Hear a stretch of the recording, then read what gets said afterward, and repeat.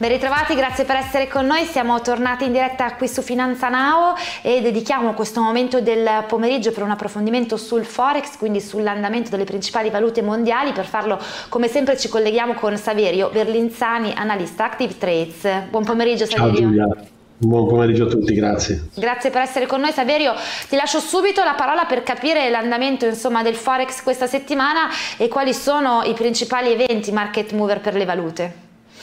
Ma sì, allora cominciamo col dire che non è cambiato nulla dalla settimana scorsa, nel senso che abbiamo una discrasia tra le parole dei banchieri centrali e della Federal Reserve e i dati macroeconomici. Cioè da un lato abbiamo sostanzialmente i dati macro che almeno sul, nel, all'interno del mercato del lavoro hanno segnalato un, una breccia insomma, in quella che era la crescita persistente dell'economia statunitense. E i dati sono peggiorati sensibilmente, parlo dei jobs openings ma anche dei jobless claims, degli ADP, dei non far payrolls, quindi il mercato del lavoro sta cominciando a segnalare delle crepe all'interno della struttura eh, negli Stati Uniti. E questo però viene totalmente ignorato dai banchieri centrali perché a cominciare da Kashkari, presidente della Fed di Minneapolis o, o Barkin, lo stesso Williams della Fed di New York, hanno tutti dichiarato che l'inflazione è ancora un pericolo, pertanto non ci si deve aspettare eh, assolutamente un taglio dei tassi all'interno del primo, secondo, del, te, del secondo, terzo trimestre, ma addirittura scaliamo probabilmente al quarto e qualcuno dice, come ha detto ieri Bostic, sempre della Fed, eh, alimentato poi dal suo vicepresidente Barr, che non ci saranno addirittura tagli del costo del denaro nel 2024. Questo ha sorpreso i mercati, ha fatto tornare un po' di, di avversione al rischio latente, perché poi se andiamo a vedere l'indice VIX e l'indice Fear Greed rimangono abbondantemente in riscona, addirittura l'indice VIX è sceso sotto 12, cioè un livello 11,85 che possiamo considerare di grandissimo appetito al rischio, riscon eh, come se non ci fosse un domani e questo però chiaramente è in contraddizione con quello che stiamo vedendo. Quindi i banchieri centrali americani o fanno doppio gioco oppure cercano di mantenere fino all'ultimo un atteggiamento hawkish e poi improvvisamente quando i dati gli cascheranno in mano perché non soltanto i dati sul mercato del lavoro stanno peggiorando, dovranno poi adeguarsi in fretta e velocemente. Quello che stiamo notando è che anche sugli ISM del settore del manifatturiero e dei servizi del mese scorso abbiamo visto un calo sotto la soglia di 50 punti, sappiamo che la soglia di 50 punti è quella che divide crescita da, da rallentamento economico, così come il Chicago PMI è uscito a 39, quindi i dati sono molto chiari, i tassi di interesse persistenti 5, tra il 5,25 e il 5,50% stanno evidentemente rallentando l'economia e di, di fatto dovranno anche peggiorare quelli che sono i rapporti degli utili aziendali trimestrali e questo non si vede perché le borse continuano a vaccinare sempre nuovi massimi ed è un paradosso. Se andiamo a vedere la, eh, il rapporto tra capitalizzazione e PIL all'interno del, ehm, del, mercato azionario americano notiamo che è overvalued, cioè sopravvalutato rispetto al rapporto capitalizzazione PIL di, di tutti gli altri paesi del mondo. Questo significa che i grandi flussi di capitali vanno ancora verso gli Stati Uniti il fatto che vadano verso gli Stati Uniti vanno, eh, dimostra che vanno soprattutto in un settore, quello tecnologico, che è forse la bolla speculativa più grande che abbiamo visto negli ultimi vent'anni. Ora, bisognerà capire quello che succederà, però intanto questa è la situazione. Sul fronte del mercato valutario quello che possiamo vedere è che al di là di tutto il mercato resta in un trading range abbastanza chiaro. Eh, l'euro-dollaro rimane eh, sostanzialmente in tre rialzista, avendo toccato 1,0890 ma non è riuscito a rompere al di sotto dei, dei 1,0830 non c'è mai andato, per cui per il momento siamo all'interno di questo trading range molto stretto, molto particolare e se vogliamo anche poco impulsivo, dettato anche da dei movimenti sui cross che sono abbastanza, che sono abbastanza interessanti. Il primo fra tutti è euro sterlina. Euro sterlina scende perché la sterlina dopo i dati usciti stamattina sull'inflazione più alta delle attese eh, se, eh, che, che, costringerà la Bank of, Bank of England ad aspettare almeno il mese di settembre prima di abbassare il costo del denaro, almeno così dicono le statistiche ora, anche se io credo che alla fine faranno due tagli lo stesso nel, nel uno a luglio e l'altro probabilmente a settembre. Eh, uno a giugno scusate l'altro a settembre. In ogni caso la sterlina sta tirando e potrebbe attaccare 1,28 1,28,5 contro dollaro. E quindi sul mercato dei cambi per il momento stiamo assistendo ad una fase comunque interlocutoria che si vede anche sul dollaro in Australia New Zealand e poi magari ne parliamo nel dettaglio eh, assolutamente, eh, andrei prima però se sei d'accordo in Asia per capire insieme com'è la situazione sia dello yen che del yuan, quindi Cina e Giappone. Ma guarda, la situazione dello yen è sempre la solita, noi abbiamo visto che c'è un peggioramento della bilancia commerciale, stanotte è uscita negativa, ma sappiamo bene che in questo momento la contrazione del PIL in Giappone è dovuto proprio al fatto che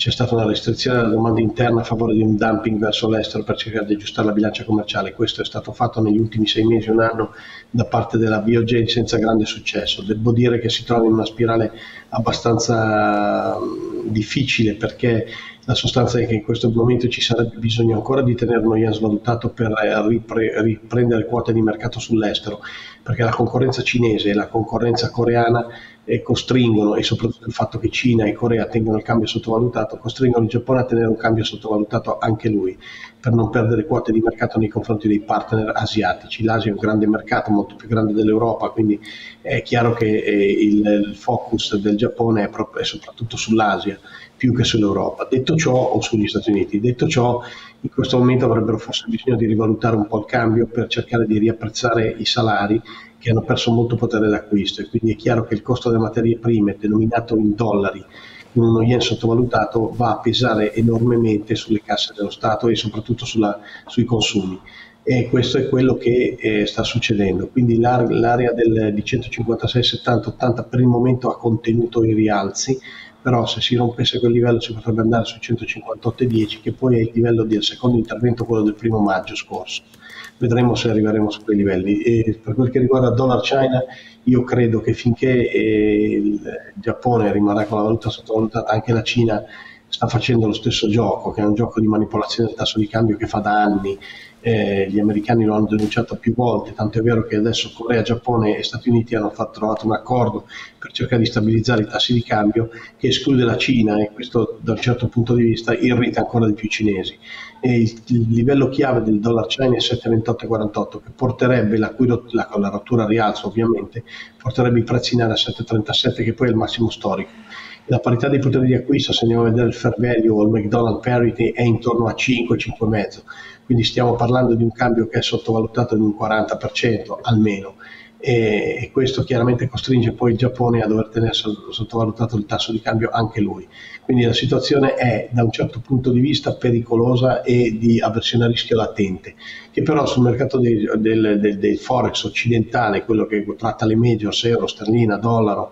e se vogliamo anche le commodity currency Australia e Nuova Zelanda, non ne risentono più di tanto, forse Australia e Nuova Zelanda un po' di più, perché sono legate alla Cina in modo duplice e la Cina in questo periodo sta riprendendo a correre. E questo aiuta Australia e Nuova Zelanda ad essere sopra, eh, diciamo, in rialzo rispetto al dollaro americano con eh, i tassi di cambio euro-Australia e Nuova Zelanda che sono dei tipici riscambi risk-on-risk-off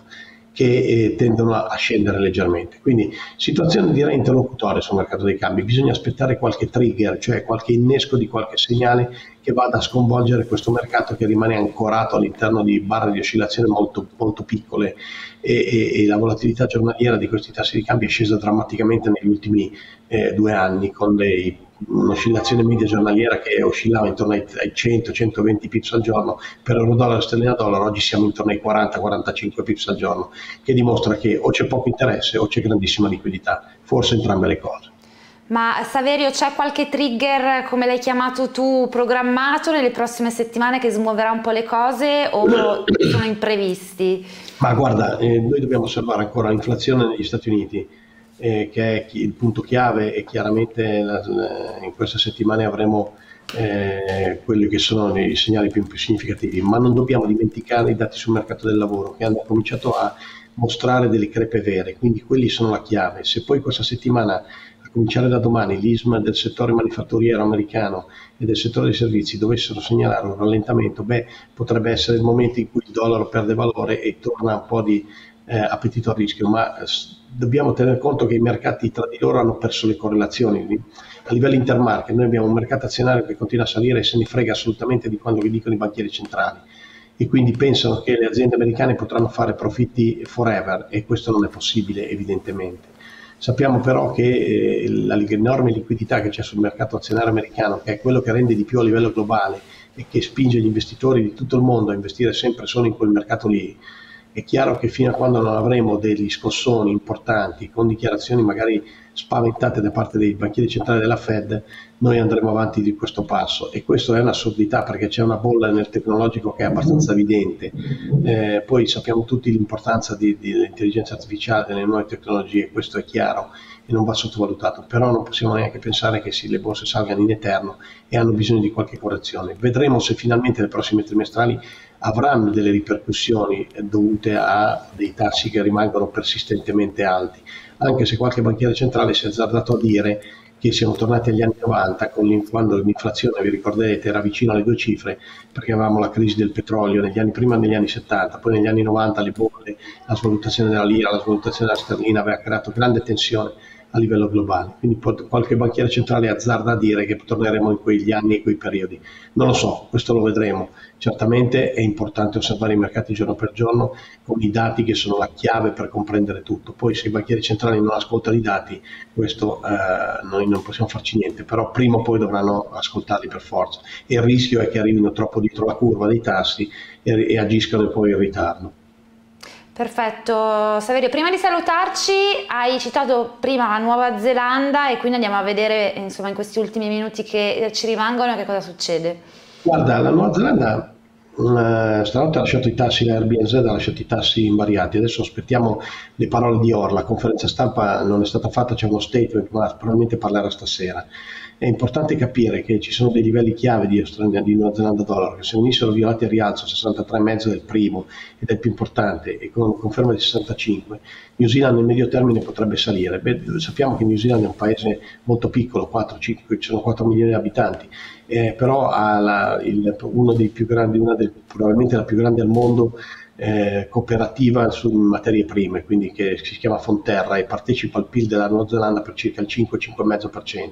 Gli ultimi dati, il Global Diary, cioè le, dell'asta del, del, latte in polvere, perché sostanzialmente esportano materie prime agricole, eh, ha, ha, visto un aumento del 3%, quindi un aumento molto importante. Io penso che Nuova Zelanda sia una, una valuta che beneficerà del ritorno della Cina sui mercati, quindi il Nuova Zelanda dollaro me lo aspetto nel lungo periodo rialzista con degli obiettivi anche in area 0,70 e questo aiuterà tutti i carry trade. Io per esempio più volte ho segnalato anche qui, senza voler sollecitare assolutamente alcun tipo di operazione speculativa, che comunque c'è un bellissimo carry trade sul tasso mercato dei cambi che secondo me va osservato, che è New Zealand contro il franco svizzero. Un franco svizzero che in condizioni di risk off si indebolisce potrebbe dare fiato a un movimento di Nuova Zelanda contro franco svizzero verso addirittura 0,60-0,62. Io continuo a tenere questa posizione perché è una posizione che offre un carry trade interessante, circa tenete presente che il franco svizzero ha i tassi all'1,5% mentre Nuova Zelanda ha i tassi al 5,5%, stiamo parlando di un 4% di, di delta tasso che comprando un'obbligazione si incassa tutto perché è un'obbligazione interessante, tra l'altro il prezzo era anche vicino ai minimi storici quindi tutto sommato credo che un rendimento importante, un extra rendimento possa essere dato da un carry trade. I carry trade sul mercato dei cambi sono tornati, erano spariti perché i tassi erano tutti a zero, finalmente sono tornati, finalmente sono tornati ad essere un asset di investimento estremamente significativo e io per, da questo punto di vista vi suggerisco almeno di guardarli perché possono offrire dei rendimenti interessanti. Perfetto Saverio, io ti ringrazio moltissimo come sempre per la tua analisi, ti auguro una buona giornata, un buon lavoro e spero di rivederti qua prestissimo. Grazie a voi, arrivederci, buon lavoro a tutti voi. Grazie ancora.